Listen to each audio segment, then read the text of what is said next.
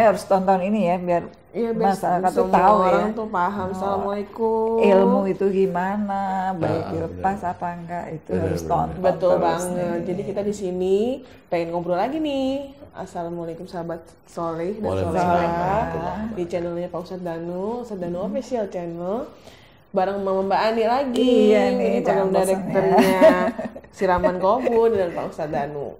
Nah kayaknya Pak Mbak, Mbak Ani punya cerita ini ya, punya pertanyaan sama Pak Ustadz ya. Boleh deh Ya, Mbak. kan sering ini kalau Ustaz tausiah atau kita menyaksikan narasumber itu penyakit-penyakit mereka itu kebanyakan dari hal sepele yang sepertinya nggak disadarin Iya. oleh banyakan orang sifat sombong Ustaz. Aduh, Iya, kadang aduh takut banget. kayak kita Devi, kadang kita kan nggak sadar ya kadang anak kita berprestasi atau ya orang-orang terdekat kita berprestasi tapi kita nggak ada yang nanya nggak ada apa. Tahu-tahu kita eh anakku loh dapat ini. Nah itu deh Ustaz. Ya kan namanya ibu-ibu itu karena Itu yang dibanggain. ya. itu. Ujub riak itu memang di situ iya titiknya. Ustaz padahal itu udah termasuk Udah termasuk sombong ya, akar- akarnya Nah, sombong. dan Karena- itu dahsyat sekali akibatnya ya Ustaz Betul, bisa betul. membawa eh, mengakibatkan penyakit Iya. yang Dan sangat berbahaya Ustaz, buat anak, orang buat kita Anak, buat orang tuanya bisa. Nah itu Ustaz mohon penjelasannya, pencerahannya tentang sifat Si sombong sombong. ini. Pak. Iya, jadi selama ini kan saya selalu berinteraksi dengan banyak pasien ya. Iya Ustaz. Banyak pasien dan pasien itu oh, macam-macam. Termasuk yang pertanyaan Mbak Ani tadi itu menggelitik bagi saya ya. Jadi begini. Ada salah satu contoh ini ada orang yang anaknya pandai. Ya. Anak nomor satu itu pandai sejak SD pandai, SMP pandai, kemudian SMA dia mau berprestasi tapi Allah alam pada saat tersebut kok anaknya tiba-tiba eh, nggak mau sekolah gitu. Nah, Tiba-tiba itu Pak. Tiba-tiba. Nah, kalau saya menceritakan kan, eh, saya mendengar dari cerita orang tuanya itu kan, eh, mendengar itu kan banyak kalimat yang terucap ya dari Iya. orang tuanya yang saya pada saat tersebut itu, di- pada waktu beliau itu bercerita itu saya sudah mengkategorikan orang tuanya ini ada ego. Hmm. Mengkategorikan itu ada ego. Awal itu ada ego ada beberapa kata ada ya. banyak kata yang beliau disebutkan itu saya anggap ego tapi kan saya memang harus dengerin dengerin baik-baik ya memang setelah saya dengerin gini gini gini saya tanya ke sini ke sini sini sini akhirnya ketemu Hmm. jadi anaknya pandai itu saya tanya bu apakah ibu dulu waktu anaknya berprestasi ibu bangga gitu aja saya iya Ustaz karena eh, Naluri kali ya, Ustaz. iya itu naluri manusia Siapa Eh, sih? yang- Ibu-ibu ya. Iya, iya. Tapi dengerin saya dulu nih. Memang itu naluri, bener nggak salah. Naluri orang yang suka banggain. itu yang yang harus kita belajar nih sama Ustaz ya, kan gitu kalau ya. naluri ya naluri ya harus beneran harus jelasin kan gitu. Memang itu akhirnya Allah gimana? Bapaknya itu nggak eh, jarang mau ngurus anaknya. Ini ini ini. Jadi saya yang kerja. Anak saya saya didik, saya ini saya ini saya lesin, saya oh, begitulah. Hmm, iya iya iya betul akhirnya berprestasi Ustaz. Ya kan saya bangga punya anak berprestasi. Ya saya senyum-senyum aja. Ya akhirnya saya cerita ibu karena kebanggaan anak ibu yang berprestasi kemudian ada beberapa hal yang ibu lupa bahwa anak itu pandai itu sebenarnya bukan dari anak pandai anak prestasi itu sebenarnya bukan dari orang dari orang tua ya.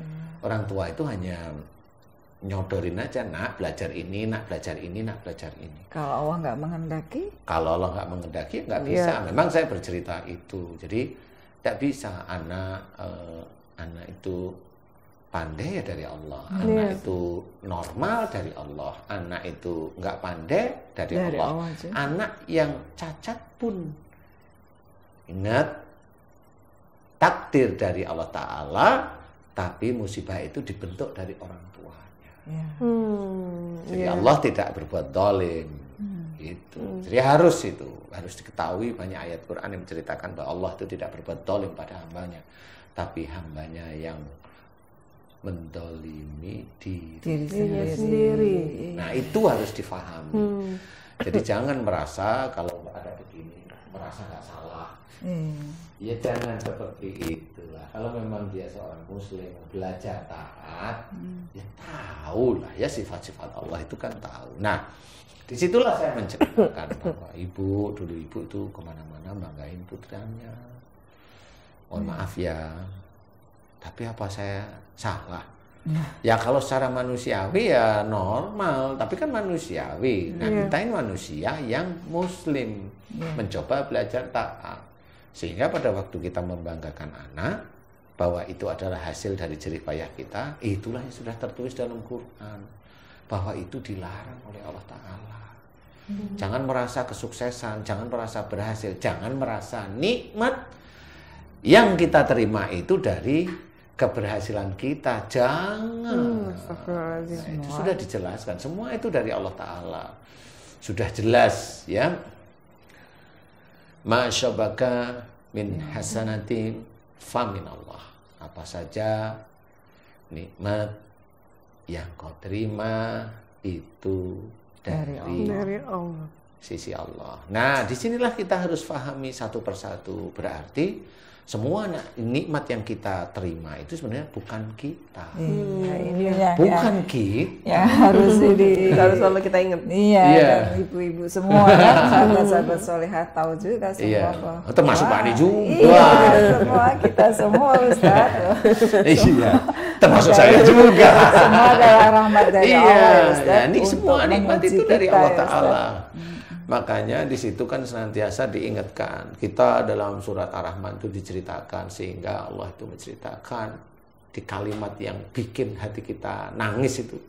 Fabi ayi rabbikuma tukadzib. 31 kali Hmm. Nah itu itu pada waktu kita membaca itu pada waktu Allah itu menyebut seperti itu sebenarnya yang keluar di lisan kita itu harusnya astagfirullahaladzim karena itu kata-kata bagi orang yang sering mendustakan.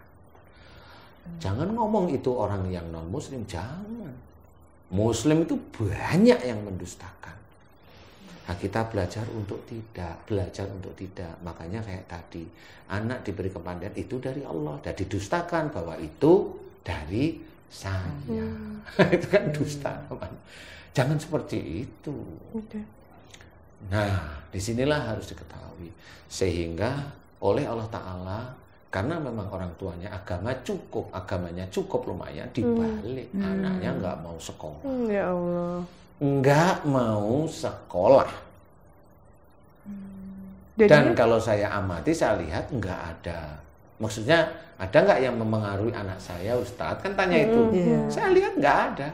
Kalau jin, ya jin ada bu. Tapi kan jin ini nggak memengaruhi anak ibu. Iya. Pasti pikirannya wah ini dibikin orang. Dibikin ini. ya normal lah ya. Tapi saya bilang enggak. Saya saya saya kan harus jujur. Saya sendiri bertanggung jawab. Kalau memang iya ya saya ngomong iya. Kalau ini dibikin orang ya saya insya Allah yang ngomong ini dibikin orang. Kan umpamanya ada nggak jin yang memengaruhi anak saya seperti ini? Ya memang ada, tapi tidak di fokus ini. Iya. Karena anaknya sendiri sebenarnya. Lah anaknya sendiri kenapa? Nah ini berhubungan dengan orang, Orang tua. tuanya. Karena orang tuanya yang dengan agama yang sebenarnya sudah cukup, tapi kok dia berdusta. Ya Allah. Nah itu dibalik sama Allah Ta'ala. Ujian ya. Jadi Iya. semua itu ujian ya Ustaz. Anak hebat, anak, Anak cacat. Itu adalah ujian. ujian. Pasti ada yang mau disampaikan Allah kepada orang tersebut untuk melalui Iya, Anak. anak untuk Seperti memuji kamu, apakah kamu bersyukur, apakah Ah. kamu kufur? Nah, gitu. iya, salah satunya seperti itu. Memang, nah, kadang-kadang orang itu kan kalau dari sisi anak itu ya, dari kalau kita tadi bilang tentang kesombongan itu kan orang tidak pernah sadar apa yang dika- dia kerjakan. Kita kita lah ini ya, Iya, Iya. Yang kita kerjakan itu merasa itu dari kita. Iya. Saya, mamanya saya insinyur. Kemudian saya diizinkan oleh Allah Ta'ala ngisi di siraman kolbu. Insinyur saya itu nggak terus oh saya ini dari saya, saya belajar saya ini sehingga saya lulus jadi insinyur kan nggak seperti itu. Lulus pun dari Allah Taala. Saya bisa belajar dari Allah Taala dengan dibantu orang tua saya. Nah, kalaupun umpamanya saya dakwah, apakah itu saya eh, merasa pandai? Enggak juga, biasa aja. Hmm. Kalau saya ya semuanya dari Allah Taala, semuanya memang diatur oleh Allah. Semuanya diatur. Ada jalan orang itu yang ditunggu oleh Allah Taala, ada jalan orang itu sudah diatur oleh Allah Taala. Jarang jalan orang yang diatur oleh Allah Taala banyak diaturnya itu adalah jalan para nabi dan rasul itu diatur. itu sudah diatur. Iya. Tetapi kalau orang-orang kayak kita, Allah nggak ngatur. Yang mengatur jalan orang seperti kita itu ya orangnya sendiri yang mengatur, Oh. menjalankan. Dia ingin apa? Jangan bilang saya ingin mencuri, itu sudah diatur Allah. Hmm, nah, itu nggak boleh. Pilihan ya. Dia memilih. Nah, nanti suatu ketika kalau dia milih jalannya, Allah tetap mengingatkan kepada orang tersebut ada ujian atau ada musibah atau dianggap musibah itu juga ujian, boleh. Nah, ujian inilah petunjuk dari Allah Ta'ala agar orang tersebut member- mem- mempelajarinya. Kalau orang itu diberikan anak yang dulunya pandai berprestasi, terus kemudian nggak mau sekolah, Allah memberikan petunjuk kepada orang tuanya. Paham nggak? Iya. Kalau bertanya pada saya, insya Allah mudah-mudahan saya bisa menerangkan atas izin Allah Ta'ala. Sehingga bisa evaluasi. Kata kerennya, muhasabah. Introspeksi, Seperti ya. introspeksi, seperti itu. Nah kalau tidak tahu, wah ini anak saya diguna-guna. Iya, wah ini di... Enggak juga seperti itu. Saya itu orang real. Iya. Saya itu orangnya real. Saya tidak mau dikit-dikit diguna-guna, nggak mau. Tetapi kalau memang itu ada, Akan Ya saya akan ngomong ya kayaknya ini diguna-guna gitu loh. Tapi secara real enggak ketahuan. Nah, di sinilah sifat-sifat manusia itu pada waktu dia memilih, memilih untuk menceritakan prestasi-prestasi anaknya, dia akan memilih Allah yang mentakdirkan agar orang tuanya dan anaknya itu kembali ke jalan Allah. Allah. Sebenarnya itu kuncinya. Sebetulnya karena Allah sayang itu ya. Sebenarnya Allah itu masih sayang, cuma manusia muslimnya yang nggak paham. Allah itu sayang, memang saya berani berani cerita. Momennya kalau musibah itu ada rasa sayang Allah boleh. Iya. Menurut saya nggak apa-apa, silahkan. Tapi rasa sayang dari titik mana kamu bilang sayang? Harus bisa dicel- bisa diceritakan sehingga orang itu tidak blunder di tengah-tengah. Ini rasa sayang Allah. Terus mau apa? Nah kalau saya carikan ayat yang lain bahwa sakit itu atau musibah itu adalah dari dosa, dari mana? Kamu bisa jawab. Hmm. Kalau kamu itu nggak bisa jawab, ya harus terangkan rasa sayang Allah Ta'ala ini titiknya mau arah ke mana. Sehingga jangan sampai kamu bilang rasa sayang Allah, kamu sebarin sehingga orang nggak pernah mau berubah. Iya. Nah itu ya salah. Seperti itu, nggak boleh. Kita harus memberikan solusi dari dari masalah itu sebagai seorang muslim itu harus mencari solusi kalau diizinkan oleh Allah. Nah, di sinilah sebenarnya ujian demi ujian itu ketahuan. Makanya kalau ayat Allah itu menceritakan wa ma asobakum min musibatin fa bima kasabat saytikum. Apa saja musibah yang engkau terima itu disebabkan dari buah tanganmu sendiri. Itu klop. Hmm. Berarti orang itu memilih jalannya.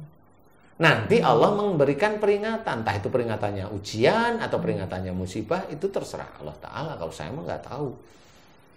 Nah, itu cara Allah menyapa hamba-hambanya di titik itu. Kalau tadi Mbak Ani bilang, itu rasa sayang Allah. Ya boleh, tapi harus diterangkan loh ya. Jangan menjadikan orang itu, oh ini rasa sayang Allah, dibiarkan pasrah terusan ya nggak bisa. Pasrah ya nggak bisa. Kalau umpamanya sakit itu, umpamanya sakit itu eh, akhirnya ke rumah sakit atau ke dokter, kemudian Allah, nah, saya tetap bilang ya, Allah memberikan kesembuhan. Eh bukan masalah obat dan sebagainya. Dan kemudian Allah memberikan kesembuhan. Nah, suatu ketika orang ini ngomong ada temennya sakit ini, udah ke dokter itu hebat dia. Nah, Jadi dokternya yang Itu. dipertuankan lagi. dokternya yang dia tuhankan lagi Iya. walaupun tidak sadar. Iya, itu. Itu nggak banget. boleh juga seperti Iya, iya. itu. Nah, kalau dia mau menjelaskan sebagai seorang muslim, Jelaskan dengan baik-baik. Bolehlah berikhtiar di dokter itu, tapi kesembuhan semuanya milik, Milik Allah. Lah itu boleh. Harta itu salah satu unsur rezeki aja. Iya. Iya. Itu yang sering disyukuri. Padahal sering disyukuri hanya satu bulan sekali. Itu ya, Pak. Karena salah menafsirkan akti ikhtiar. Kalau orang itu langsung, yang penting ikhtiar, nanti pasti Allah akan memberi. Loh, ya jangan bilang pasti. Pastinya